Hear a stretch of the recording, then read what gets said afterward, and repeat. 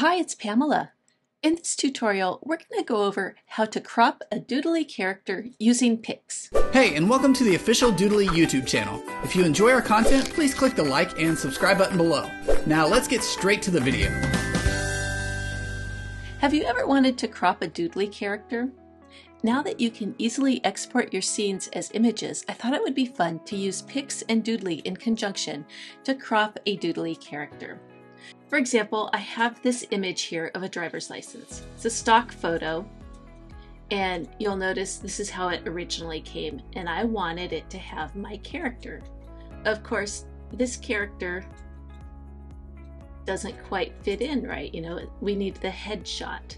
And if I were to make him large enough to have the headshot here, you would still see the background of the original stock image. So what I did instead was I cropped the man's face and put a little border around it, and now it fits perfectly. And I did this using Pyks. So how did I do it? Well, let's go over it together. Let's take a new scene. And here I have a little cat lady, and there's a picture frame here, but there's no picture in it. And I figured, well, we could put the lady in, so let's go ahead and pull up Mary. And let's find one. This one I think is cute. This would be a great photo. But again, it's the same problem. It doesn't fit. You know, unless we want to have her full body as the photo, which I don't think we really want to do. So how are we going to get Mary inside this photo with just her little head? Let's go ahead and create a blank scene. And let's just bring Mary in. And let's make her nice and large. So something like this. That way we'll get as high a resolution as we can on her headshot area. So we want to just export this as an image. So right click on the scene itself and choose save as image. I'm going to choose it as a PNG and I'm going to make it as large as I can. And I'm just going to put it to my desktop. And now it's exported. Let's go back to this scene. Delete this one. So let's go ahead and open Pyks. If you're not familiar with Pyks, it is part of the Voomly Cloud family, just like Doodly is. Depending on your plan, you may already have access to Pyks. If not, you can use any other image editing software that you might have. But I thought today it would be fun to use Doodly and Pyks together. So let's go ahead and click New. Custom image. By default, it's a 1024 square, which is fine. And I want to bring in my screenshot of Mary I'm just going to drag and drop it in. And here she is. So now, before I crop her, let's make her extra large. And you'll notice she's already semi-cropped just because of the way we set her up in this doodly scene. So we can just go ahead and make it like that. And now we're going to hit our resize tool, which is really our crop tool.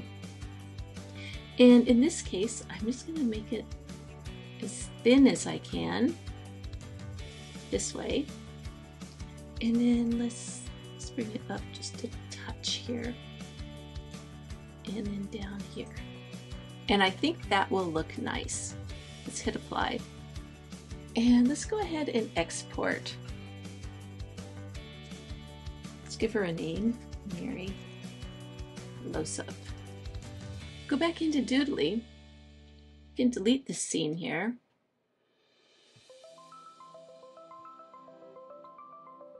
We want to place her in this frame. So we can be in the characters tab if you'd like because this is part of Mary. And let's just go ahead and import it. Mary close up. And now we have this cropped image of Mary and she should fit in our picture frame here. And then let's do the same with her cat. Let's have a little cat face peeking in. So let's go to props.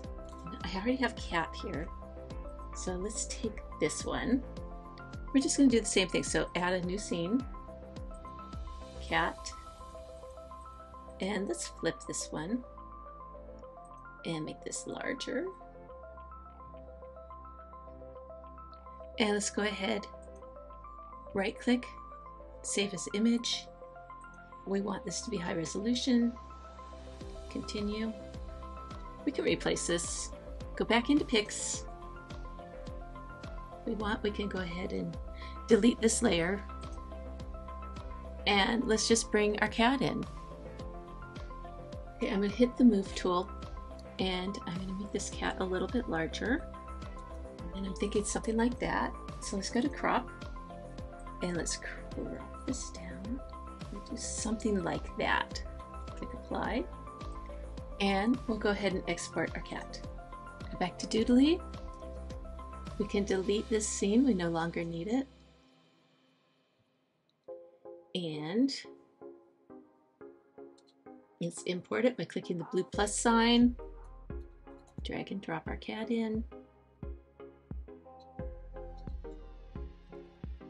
And zoom in a little.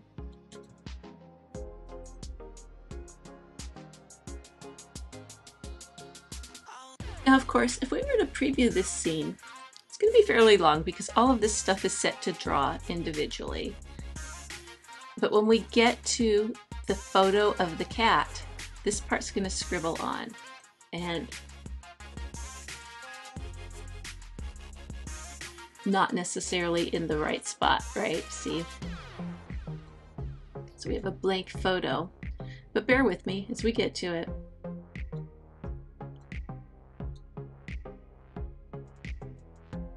Right here. Okay, it's just kind of scribbling it on. Cat, it's okay, but see how that just scribbles? So you no longer have the drawing paths. And it's up to you if you want to add them yourself or not. Well, let's go ahead and fix up this scene a little. I don't want all of this stuff drawing, so I'm going to select everything.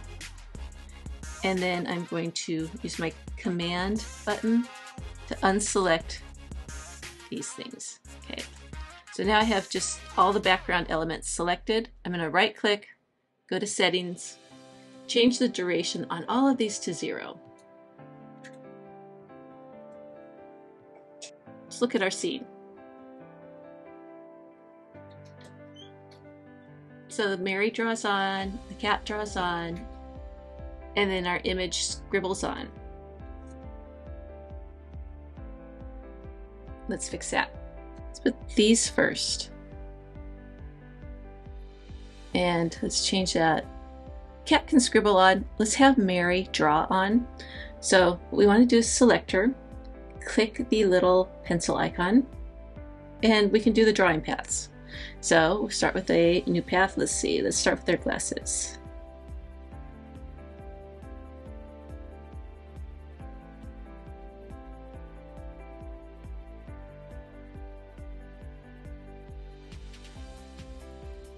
Okay, so now let's take one final look and we will be done. So here's the scribble here. This one's going to draw it on and then the scene continues.